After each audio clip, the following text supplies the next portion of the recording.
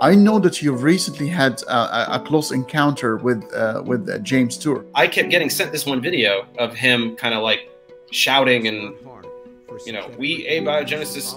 I should know. I'm an organic chemist, so I know the most about this. I looked on YouTube. I was like, debunk James Tour. Nobody's confronting this guy. Well, somebody's got to do it. So I guess I'll do it. So I made a 45 minute video. Just from that one video, he says some things, and I'm like, eh, that's not true. Here's why.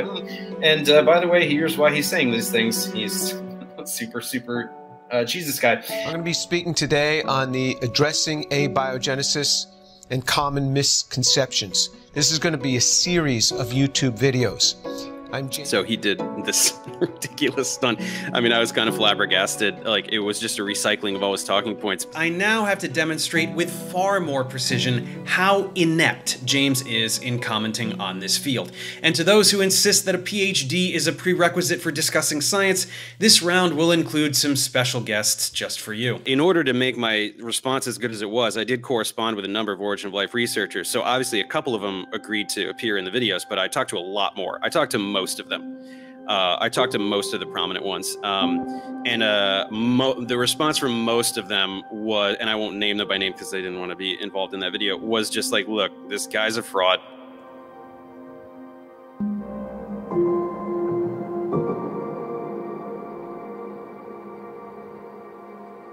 I really want the synthetic chemists, my synthetic chemist colleagues, to critique me. Uh, is there something that I'm teaching in here that's synthetically incorrect? Let me know. Well, you asked for it, so let's chat with Bruce a little bit. This is not new. What we have advanced, of course, are designer surfactants that enable synthetic chemistry.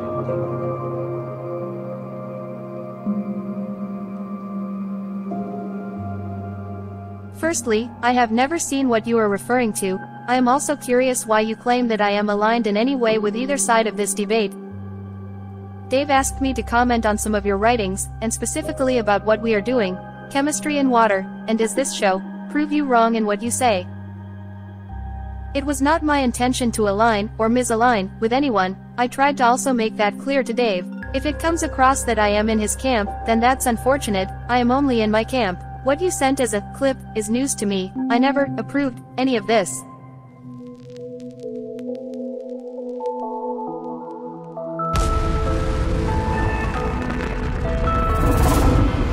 In this ooze emerged the first life. I find it problematic in that there's an extrapolation from a very small experiment in a laboratory. Researchers have now created life from non living parts. There were many kinds of molecules in the primordial soup. I'm boiling up some primordial soup. Your entire civilization. It all begins right here in this little pond of goo.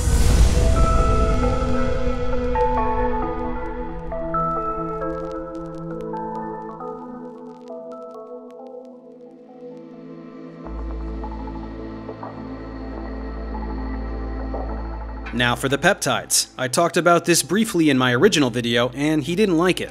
You're gonna do condensation reactions in water?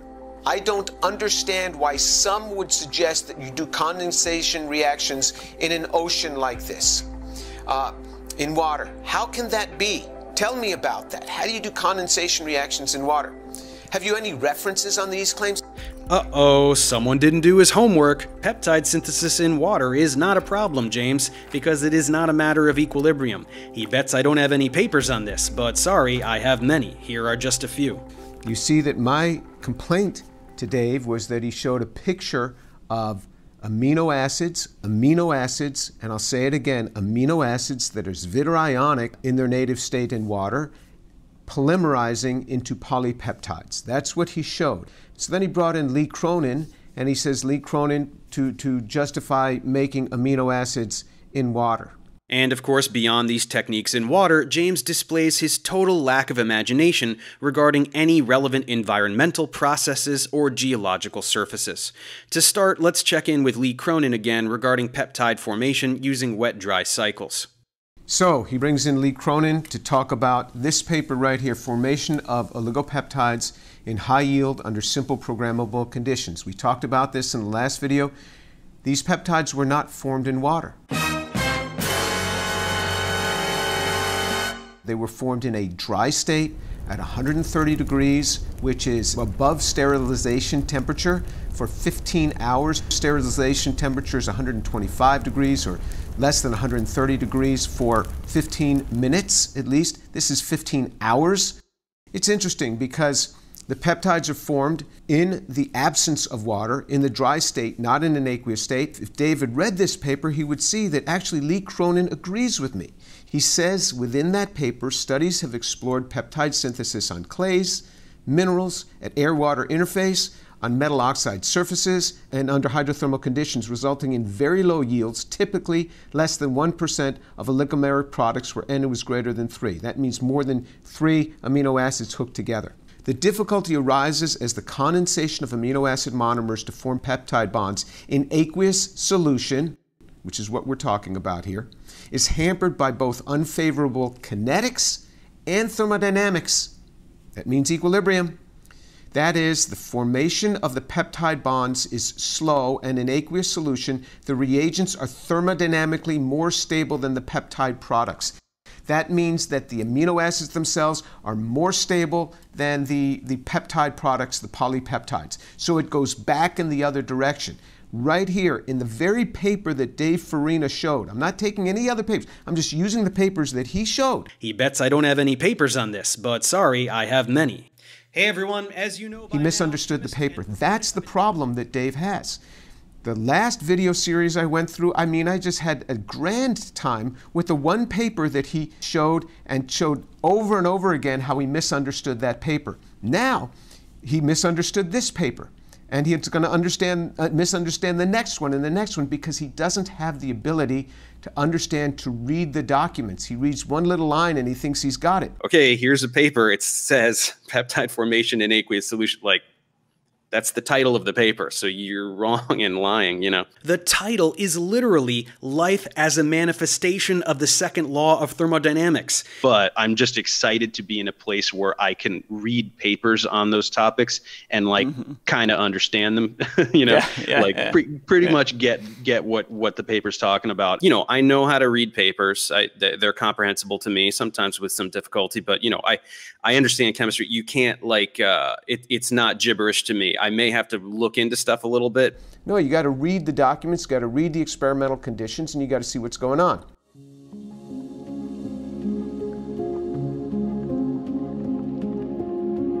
Okay, so then Dave invites in a synthetic organic chemist, Professor Bruce Lipshutz, to comment on my video series.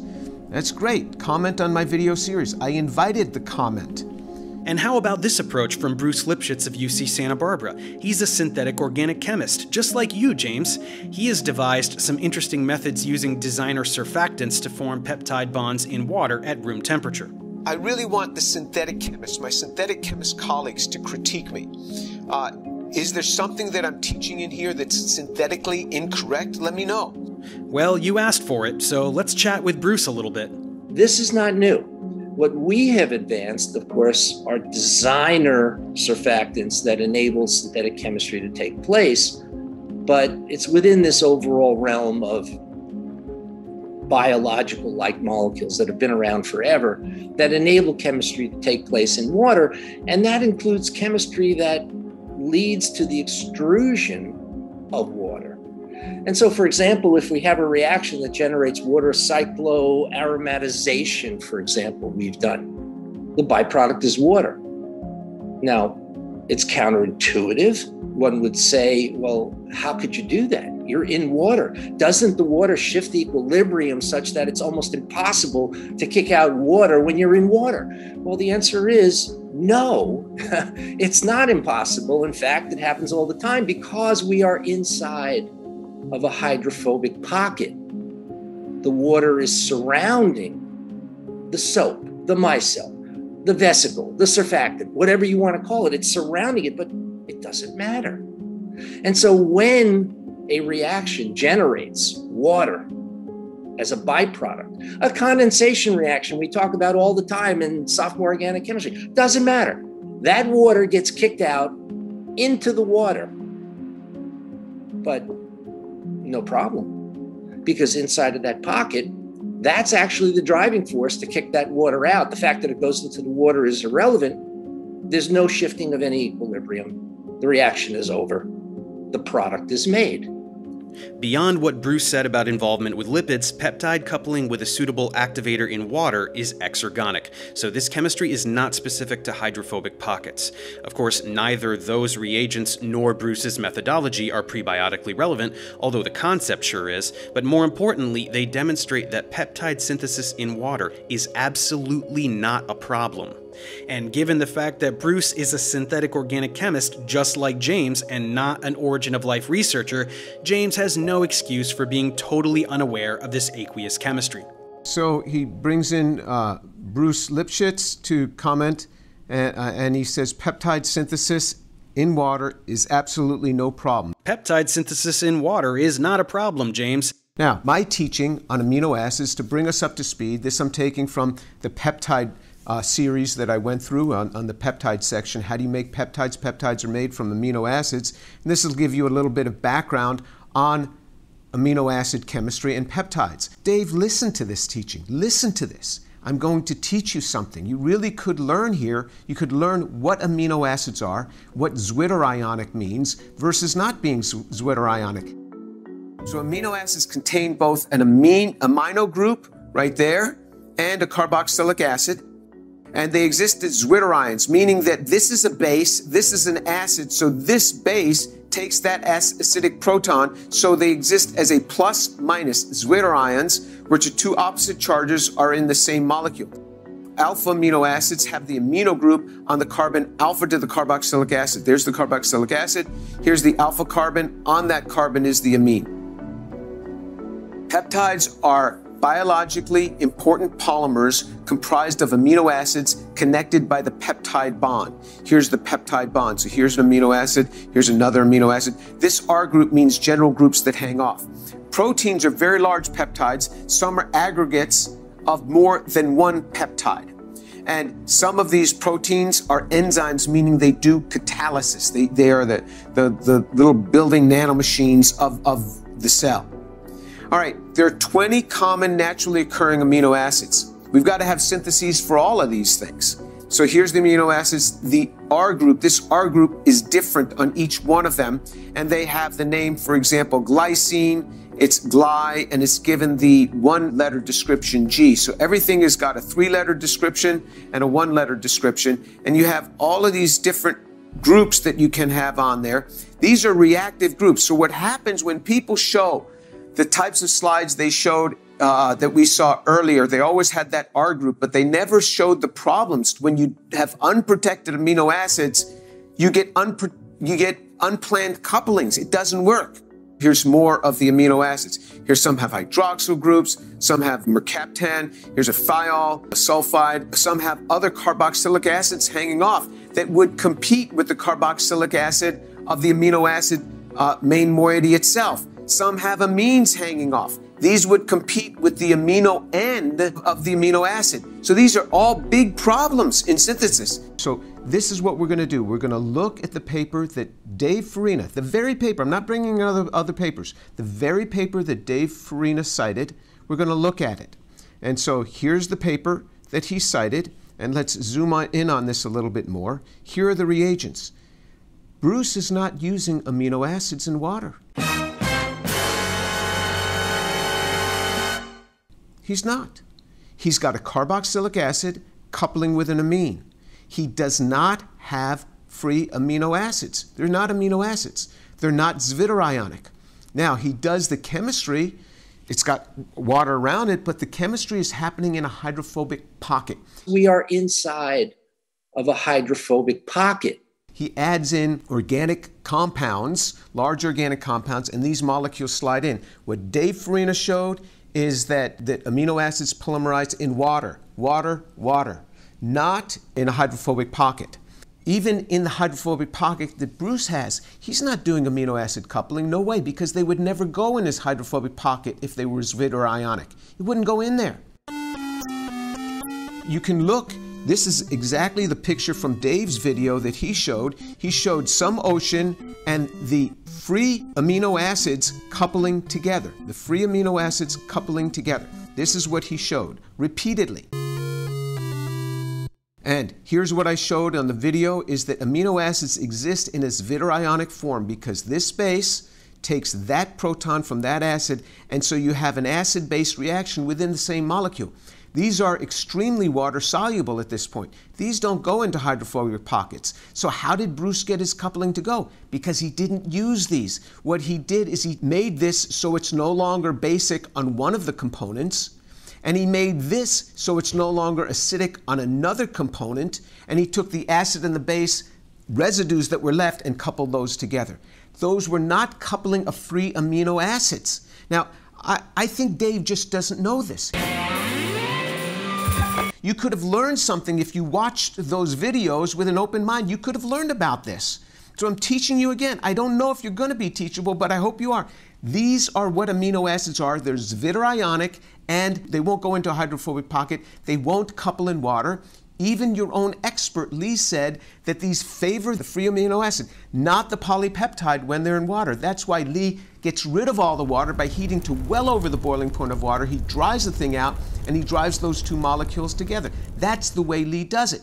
The way Bruce does it is what he does is he protects the amine group on one component so that it's no longer basic. So he puts a benzyl oxycarbonyl. It was formerly called carboxy uh, benzyl. That's why they got the nomenclature CBZ for that protecting group.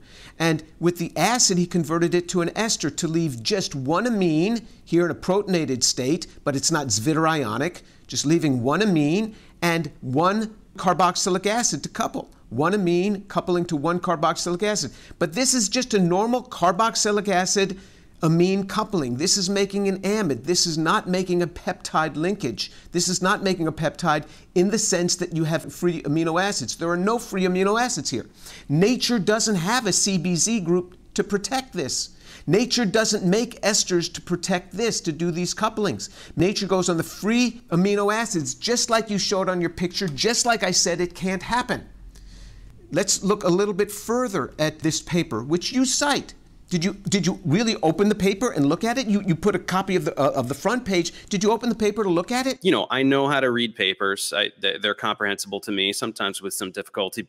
Look at every coupling that, that Bruce Lipshutz did. Every coupling that he did had the CBZ group protecting the amine on one component, and every coupling that he did had an ester Here's an ethyl ester, here's an allyl ester, ethyl ester protecting the other end. Here's a methyl ester protecting the other end. So these are not free amino acids coupling. And why did he have to put these big CBZ groups on it? To make them hydrophobic so that they would go into his non aqueous environment. So he functionalized the molecules to drive them away from the water and into the hydrophobic pocket, as he calls it. Every one of Bruce's free amines has an ester alpha to it, not a free acid. Every one of his amines that he doesn't want to use has a CBZ group or a Boc group. That's a, a group, another big moiety on there. None of these are amino acid couplings. Dave, listen to me. There are no amino acid couplings going on here in water. None. Yes, he of course he has activators too, but let's put that aside. He has, he has these unnatural activators, which you cited, unnatural activators, but put that aside. There's no amino acid coupling. So when you say that peptide formation in water is absolutely no problem, you're absolutely wrong again. Also, none of his examples have side chains. Remember I showed you, I showed you that list of amino acids. About half of them have active side chains. Some have OH groups, some have SH groups, some have NH2 groups, amine groups, some have carboxylic acid groups you have to protect those or they would get involved. So this is a totally, totally loaded system. Bruce Lipshutz was not coupling amino acids. None of his compounds were zwitterionic. Remember what I taught you about zwitterionic, has a plus and a minus charge. None of his compounds had that because when he puts a CBZ group there or a Boc group there, that amine is now alpha, and that amine is now hooked onto a carbonyl. Its lone pair is withdrawn. The electron density is withdrawn into the carbonyl, so it's no longer basic. All of his amines were protected. All of the carboxyl groups were esterified, the ones that he didn't want to undergo the reaction. All of his substrates were rendered minimally soluble in water because they were no longer zwitterionic, and he put big groups on the amines to drive those things into the hydrophobic pocket. All of his couplings were done in, in a hydrophobic pocket, not in water, but in a hydrophobic pocket. Yes, it may have been water surrounding that, but it was done in a hydrophobic pocket. It was done within an organic framework, not in water. So none of his chosen systems had active side chains. Bruce totally loaded this thing because active side chains would have thrown this thing off, and Bruce confesses to that, as you'll see. But most of all, he was not coupling amino acids. This was loaded to the extreme. No such joy for early Earth. I mean, not just the bad arguments, but there are so many instances where it's just like, look, I caught you misquoting this person. You took the you you pay, you pasted this, you snipped something out. You know, you're twisting the, these words like it's just very, very blatant. It's undeniable that he's not just not understanding science he doesn't want to understand. He's actively lying.